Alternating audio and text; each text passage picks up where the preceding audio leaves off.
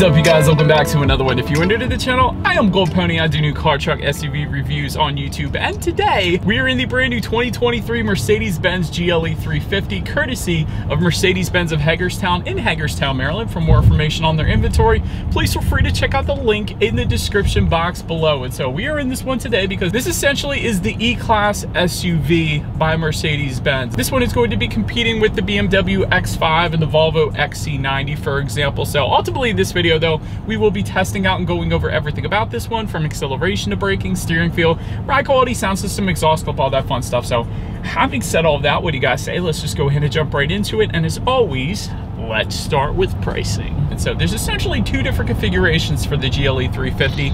First one being the rear wheel drive variant starting at $56,150, which is a very modest price bump from the 2022 model year by only $450. A lot of manufacturers are doing somewhere around 900 to 1,000 typically on average. So only 450, that's not that bad. All-wheel drive version then is going to start at $58,650. But regardless of which configuration that you go with, the power plant on the GLE 350 is going to be the same. Powering the beast is a 2-liter turbocharged inline 4-cylinder, putting out 255 horsepower at 5,800 RPM, 273 pound-feet of torque coming in at 1,800 RPM. Power center rear wheels are all-wheels through a 9-speed automatic with paddle shifters, which we will be testing out here in a little bit. 0 to 60 time is going to differ slightly depending upon the configuration that you go with. 7.1 seconds for the rear-wheel drive, 7 seconds flat for the all-wheel drive then with MPG numbers coming in at 19 city, 27 on the highway for the rear-wheel drive, 19 city, 26 then on the highway for the all-wheel drive taking premium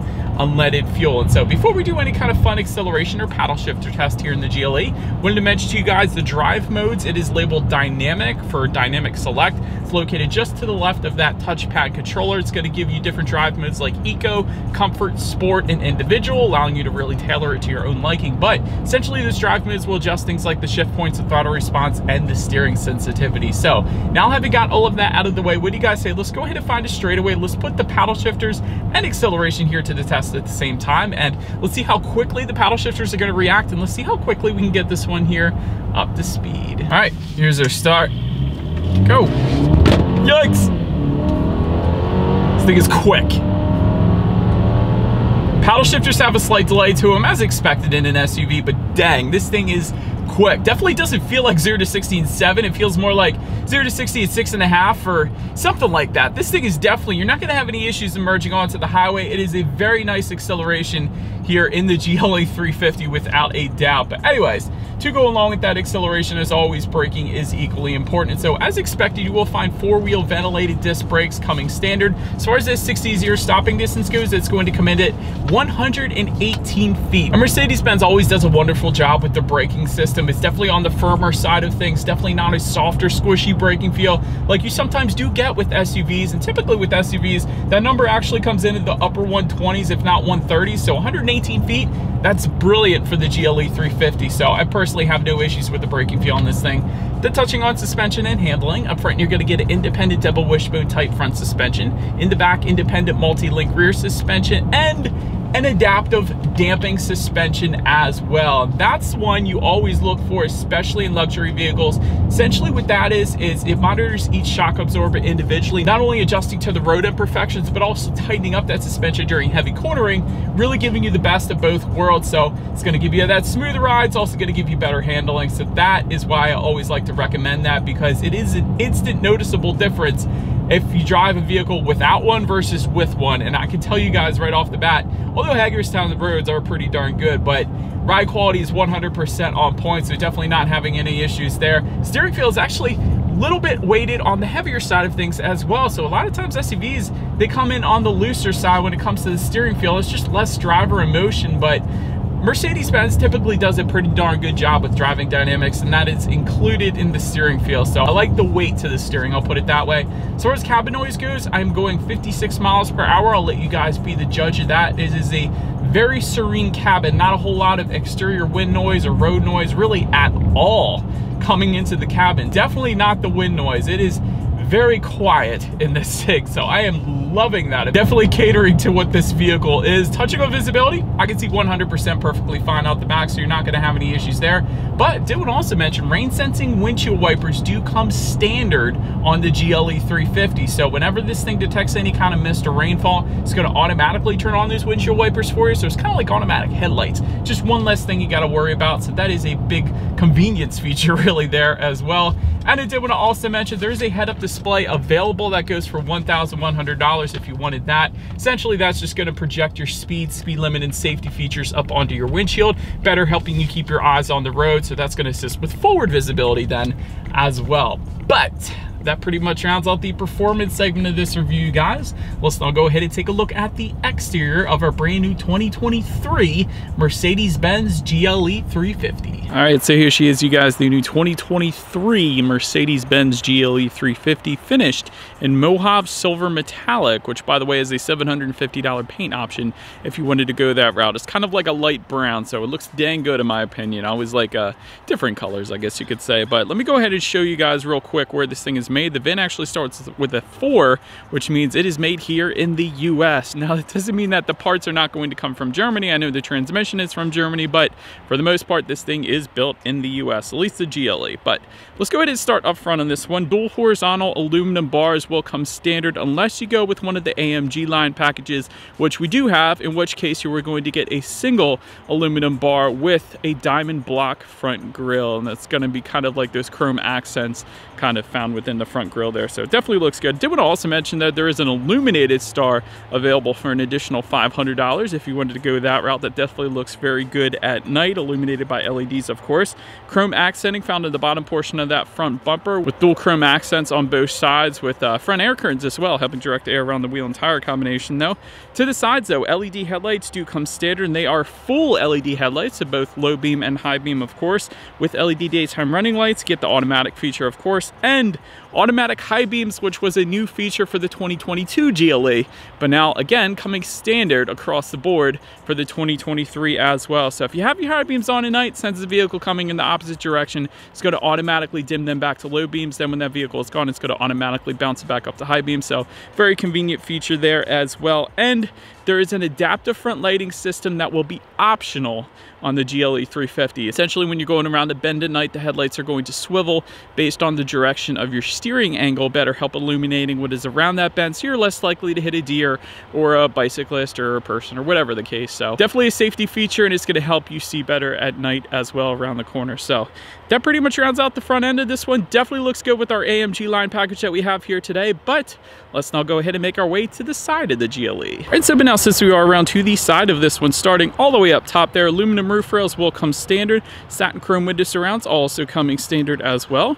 Rear privacy glass, yet again, standard. Satin chrome accents on the door handles, didn't want to leave that one out. That is a pretty cool look. Uh, a lot of Mercedes-Benz has that as well. Take a look at the side mirrors. Body colored power adjustable side mirrors will come standard. They will be heated with LED integrated turn signals as well. But not only that, power folding side mirrors also come standard. So when you lock the vehicle up, the side mirrors are going to fold in. When you unlock it, they're going to fold back out. So that is pretty cool. That doesn't always come standard, even on luxury manufacturers, actually. So I wanted to mention that. Take a look down at the wheel setup then. 19-inch twin five-spoke alloys are going to come standard. However, there are several different optional wheel configurations for this thing, including the AMG line wheels that we have today. We actually have AMG kind of embossed into the wheels, so definitely a very nice look. And there are 20 and 21 inch wheel designs available on top of that. So overall, nice side profile here. Let's now go ahead and make our way to the back. All right, so but now since we are around to the back, first thing I want to mention is there is no shark fin antenna up top. So kind of interesting. Most vehicles, I would say 90% of them out there have that shark fin antenna, but a very clean look up top without it. I will say that. But just below that, rear spoiler with an integrated brake light, of course. Rear window wiper asphyxiated to the rear glass. You got that 4MATIC badging, meaning the GLE that we have today has the all-wheel drive system. That is what Mercedes calls their all-wheel drive system because every manufacturer names it, of course. You do have LED taillights coming standard. I absolutely love that look. Very bright back there. LED license plate lighting actually as well, so that is pretty cool. You do have a little bit of added chrome accenting found in the bottom portion of that rear bumper, and then to the sides, a very nice look here. Integrated dual exhaust outlets with chrome tips. So having said that, I do believe you guys know what we have to do next. As always here is that exhaust clip.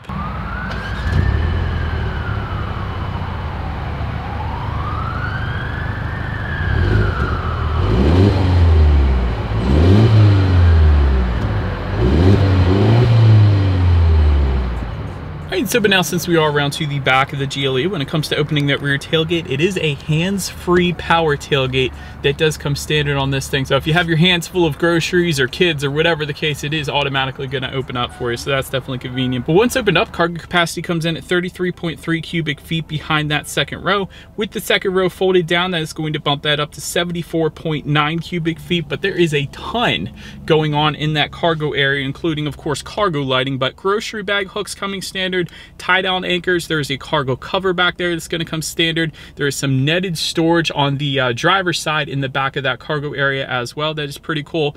And if you were to lift up underneath of that cargo floor, that is where you're actually going to find a spare tire as opposed to the fix-a-flat, which I personally prefer. I don't know, maybe I'm used to it, but you can also probably fit an ice scraper within that spare tire underneath the cargo floor as well. So basically everything you could probably want in the cargo area then. But now, making our way up to the rear legroom. First, let me start by saying there is a third row available for the GLE. It's a $2,100 option. We don't have it, but I had it last year when I reviewed the GLE, so not a whole lot of space going on back there. So we're just gonna go ahead and move up to the second row because that is the configuration that we have here today. 40.9 inches. That is quite a bit of space as far as rear legroom goes for that second row there. For reference, I'm even six feet tall. This is how much space I had sitting behind my own driving position there.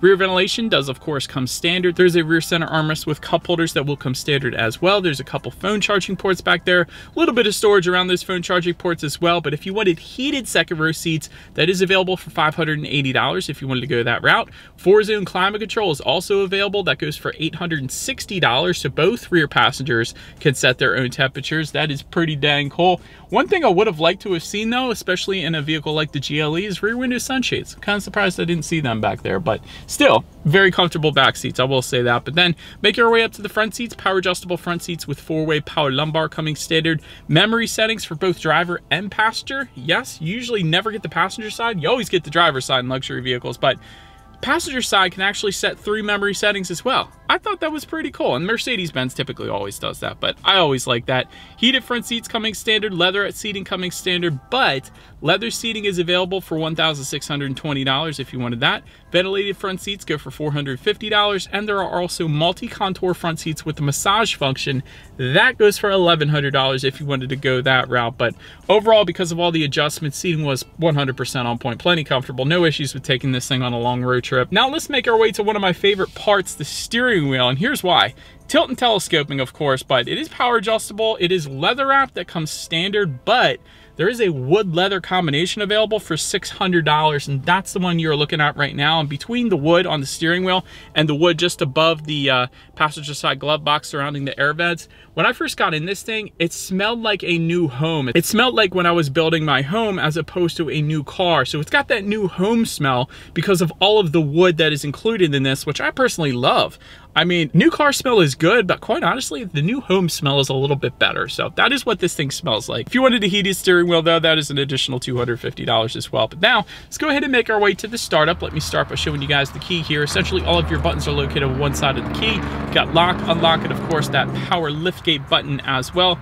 But it is all keyless entry with a push button start, and then you got the remote start via the Mercedes Me mobile app if you wanted to go that route as well. So all I'm going to do here is simply put my foot on the brake and press that black engine start button located just by the driver's right knee. And so once started up, 12.3 inch digital gauge cluster will come standard on the GLE 350 and I love it. Here's why. There is a designs and display section. So if you go all the way over to the right here, you're gonna get designs and display, and that is gonna give you a couple options, including classic, sport, progressive, and understated that completely changed the look of the gauges and it looked absolutely amazing. Now, of course you get everything else you would expect. Like there's a digital speedometer, there's your outside temperature, there's speed limit recognition technology, as well as you're driving along the road. You check out how many miles you have left until you hit empty. The list goes on, but pretty much everything you could possibly want up there and the best part being you can completely customize the look of the gauges so loving that but now making our way to overall interior quality there is a panoramic sunroof that goes for $1,000 we do have that option so That is a massive sunroof. It goes all the way into the back seats as well. Auto dimming rear view mirror with HomeLink controls for up to three different garage doors. Uh, definitely a big fan of that.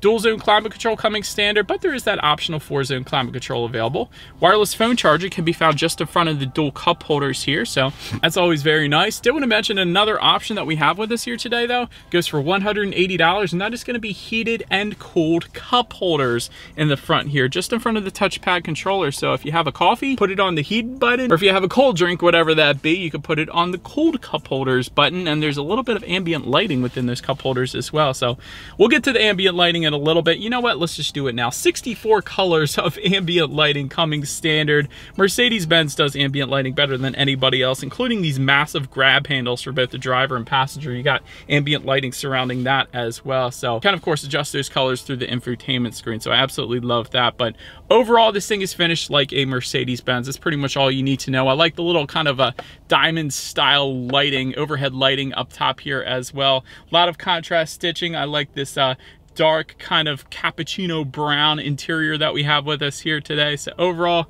100% on point. And I almost forgot to mention, all of these wood finishes, they are matte wood finishes. Besides on the steering wheel, that's smooth, but everything else is a matte wood, and it makes everything smell like a new car, which is absolutely wonderful. But now, let's go ahead and take a look at the infotainment screen, 12.3 inch color touchscreen display. And of course, like I said, it is touchscreen, but you can control it using the touchpad controller and buttons located just behind the cup holders.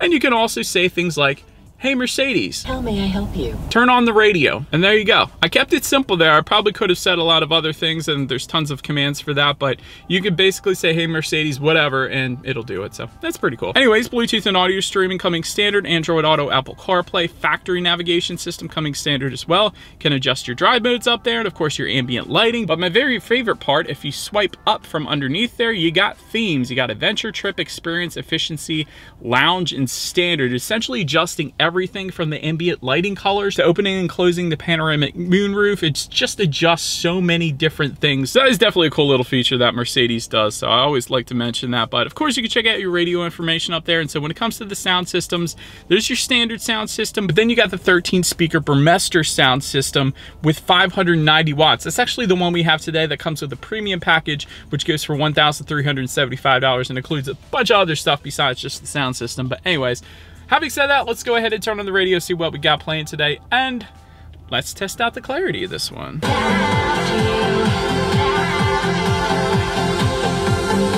All right, felt like the subwoofer was by my left foot because I was getting the rumbling down there, but Anyways, that was a very nice sound system. Ton of clarity with that thing. Again, ton of bass by my left foot, like I was saying. So Burmester did a wonderful job yet again. And not only that, you got aluminum speaker covers built into the matte wood finishes in this thing. So very high-end look as well to go along with that. But anyways, last thing I want to mention to you guys on the GLE is when you do put this thing in reverse, you will find a rear view camera coming standard across the board. You actually do have the option to have that take up the entire screen. And there is a surround view monitor that comes with the premium package, like I was just mentioning to you guys with the sound system, which is going to let you know what is completely all around you, which is always is going to lead us into safety. And so to start, IIHS Top Safety Pick Plus, which is the very highest designation given by IIHS, so that pretty much says it all right there. Front side side curtain airbags do come standard, driver's knee airbag up front as well. In the back, you're going to have latch, aka lower anchors and tethers for children for the rear car seats, rear child door lock, tire pressure monitoring system, also coming standard,